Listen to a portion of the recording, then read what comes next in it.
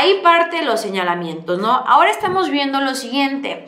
Desde besos en la boca hasta nexos con grupos. Estos son los siete escándalos que enfrenta Vicente Fernández en este momento. ¿Cuáles son los escándalos? Bueno, pues besos en la boca. Vimos que también tenía señalamientos de que, bueno, en los eventos ahí agarraba muchachitas que, que le agarraban acá, que le agarraban allá, arriba, abajo, izquierda, derecha.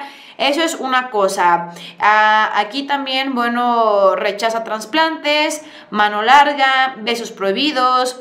Fue acusado también de, pues ahí, ahí dice la palabra. Eh, vínculos con grupos, infidelidades y de ahí vienen estos hijos que están, bueno, estos que argumentan ser hijos, que estaban por fuera de la familia y que son los que están ventilando estos temas delicados que eh, engloba el testamento y lo que no está dentro del testamento. ¿Como qué tema? El que vamos a ver a continuación. Vicente Fernández, ¿cuál fue el motivo por el que las autoridades investigaron al charro de Huentintán durante su última gira, que era eh, durante su gira de despedida, que era su última gira en realidad?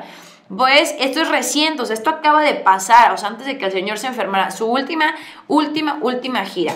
Y dice, en 2013 se especuló que se blanquearon, eh, se blanquearon unos 5 millones de euros en la gira mundial de Vicente Fernández. En la Unidad Central Operativa de la Guardia Civil de España condujo la investigación y se estimó que tan solo en la presentación de Chente del 15, 16, 17 de junio de 2012, lo que les mencionaba, cuando comienza sus vínculos con Enrique Peña Nieto, se pudieron blanquear alrededor de 300 mil euros, según información del diario El País. Esto habría sido en 2013, hubo señalamientos aquí en México de algunos vínculos, pero ahora es el gobierno español quien está declarando que efectivamente en estas giras se comienza a dar y que también ya anunció Alejandro Fernández que dará eh, una gira pues mundial aprovechando que ya el tema del COVID se está eh, pues no arreglando, pero pues ya estamos saliendo, podríamos decir, es que comienza a reactivarse este tema. Estamos hablando de que pudieron haber blanqueado 300 mil euros, fíjense nada más. Vamos a seguir leyendo, dice así, la información procedente de Colombia de la que dispone la Guardia Civil señala que algunos grupos de ese país han podido blanquear unos 500 millones de euros en la gira mundial que habría realizado Alejandro, digo, perdón, Vicente Fernández. De Alejandro la verdad a mí no, no, no ha salido nada, solamente de el papá. De las pesquisas no se derivó ningún tipo de implicación contra Vicente, pero sí hubo datos extraídos del flujo de dinero de sus eh, actuaciones en España que apuntalaban al ciudadano colombiano Andrés Barco, que era uno de las personas que se encargaba de administrar los shows como manager básicamente.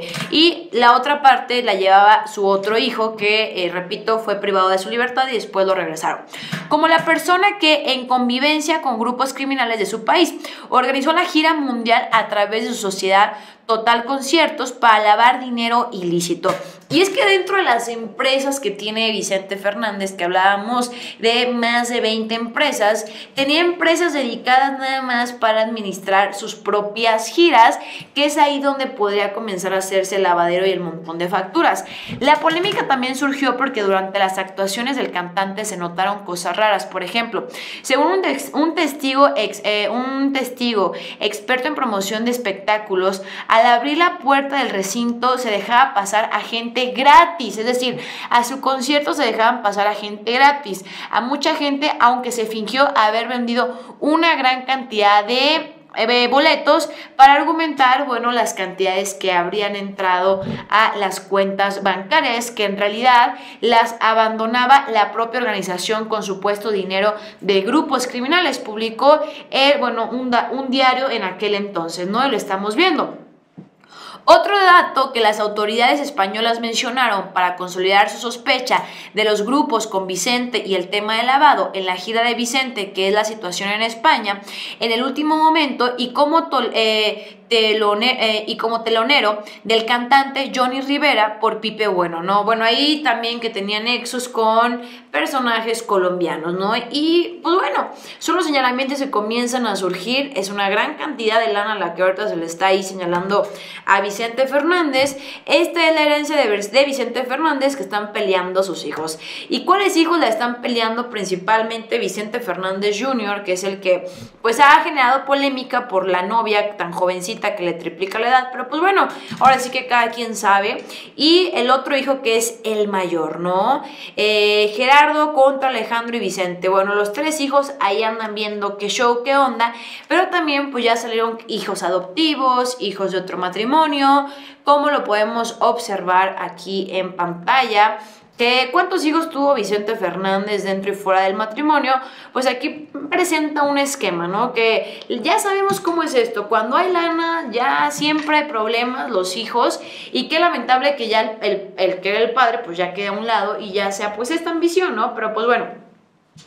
Aquí estamos viendo que le ponen a cuatro hijos. Esta sería una hija adoptiva. Y bueno, pues aquí Alejandro Fernández, el mayor, Vicente Fernández Jr., sus este, tres esposas. Alejandro ha tenido dos esposas. Y bueno, de cada esposa ha tenido este dos, pues sí, dos, dos hijos de las primeras dos esposas y de la otra pues no porque está muy jovencita. Y bueno, pues aquí tenemos a Alejandro, dos esposas, sus hijos y bueno, que vendrían siendo nietos, ¿no? Y aquí está la hija, ¿no? ¿Quién es la hija? ¿Quién es Alejandro Fernández? Eh, la hija adoptiva de Vicente Fernández que se dedica al mundo del diseño. Pues bueno, aquí tenemos a la otra hija que es la hija adoptiva. Se sabe muy poco de su historia, pero pues ya se andan dando hasta con la cuchara eh, los hijos. Y este que estamos viendo aquí es el que lo señalan o lo vinculan más, ¿no? Aquí en pantalla, ¿no? Este de, de camisa Rosita. Pues bueno, básicamente esta es la familia oficial, pero ya han salido que hijos por allá, que hijos por acá, y se están comenzando a ventilar estos temas como los 5 millones de euros que comienzan a levantar sospechas, porque pues este ya es un señalamiento por parte del gobierno español. Pues bueno, mi querida familia, con esto concluimos el video. Déjame en los comentarios qué opinas al respecto de esta información. Y bueno, pues eh, dime ¿Qué te parece la información? Eso es lo que ha salido hasta el momento. Y creo que al final, digo, como artistas puedes ganar muy bien, pero no sé, esa ambición de querer más y permitirte lavar lana o, o empiezas a ganar mucho y no querer pagar, digo, está cañón, ¿no? Digo, si ya estás ganando, pues paga, ya, ¿para qué andas con tus cosas? Y pues págale al gobierno, ¿no? Lo que decía el presidente y que es una lucha que ha implementado para no condonar impuestos. Pues bueno, familia, con esto terminamos el video. Yo soy Juncal Solano para el Char Político. No te olvides compartir el video y nos vemos hasta la próxima.